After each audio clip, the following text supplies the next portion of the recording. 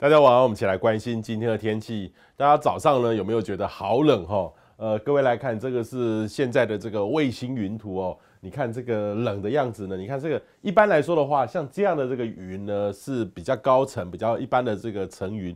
可是呢，有时候遇到这种冷空气的这个影响，呃，特别是冷空气呢从这个西北边这样下来，你看这个云的这个走向，还有它的形态。变得一丝一丝的哦，就是这个感觉起来，就是受到冷气团影响的这个云系。你从这个卫星云图就可以看得很清楚，最冷的地方不在台湾，是在这些这个地方吼。所以日本来说的话，在这个西北这边，实际上有些地方已经有明显的大雪出现了。呃，整个冷呢是非常的这个明显了吼。啊，中国这个北方这边呢，真的也很冷哦。这是零度线已经过了挂了长江流域。呃，不过这边呢是属于比较偏干冷。哦，这边来说的话是比较偏湿冷一点点。台湾来说的话是属于偏干冷的情况比较多，呃，风速呢也明显增强。你看这个就是气体的这个流向。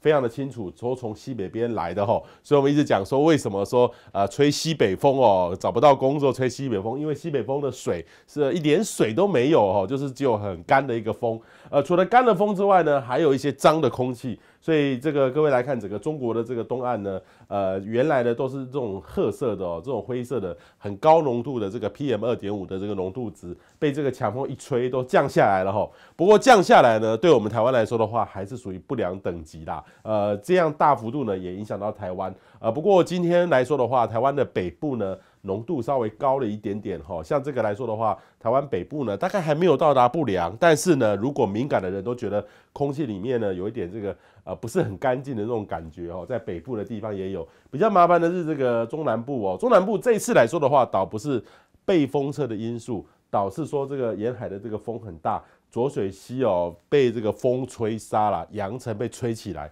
所以在这个台西啊、麦寮这一带哦，一直到这个嘉义这一带，这边来说的话，空气品质都到达不良等级的水准。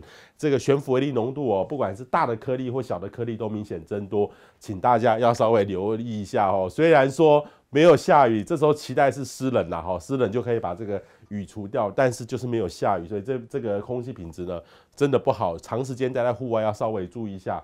那今天来说的话，这个雨势明显减少了。然后在中部的山区有一点这个清晨有点雨，不过目前都缓和不少。预计呢，这个冷呢会到明天的清晨哈。明天的清晨要留意有辐射冷却的因因素。那接下来就这个高压东移了，就缓和。不过各位来看，下礼拜呢又有一波又在下来。礼拜二下礼拜二又有一波哈，会开始接近。礼拜一晚上开开始到礼拜二的时候就接近。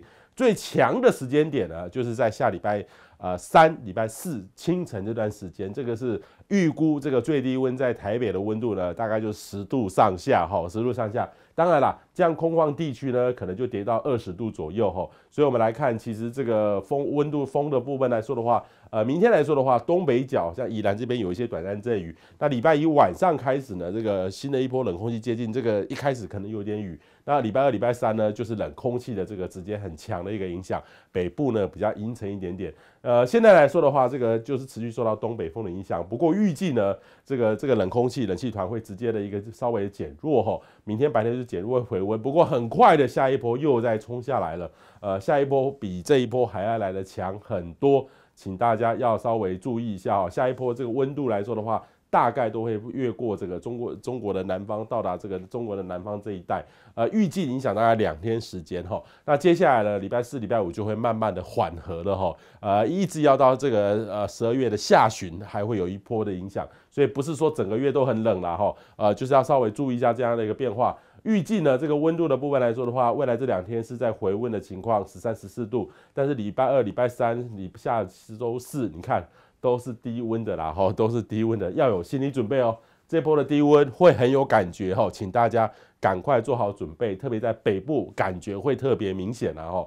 那南部来说的话，呃，虽然预测明天是十五到二十三度，但是呢，如果你在云嘉哈、云嘉南这个空旷地区，呃，特别是农业的空旷地区，一定要注意，有机会还是有机会跌到十度左右哈，辐射冷却的影响。那接下来呢，就真的是回温了，但是下礼拜二、三、四。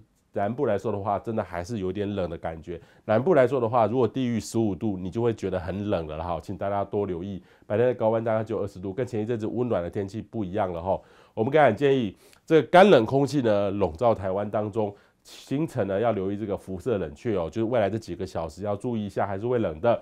周日呢白天回暖到下周一，周二另外一波强冷空气会再度的南下。周三市一定要严防这个低温的寒害对我们台湾的影响。这一波来说的话，预计是今年到目前为止最强的一波，请大家一定要提高警觉，注意自己还有家人、老年人的健康。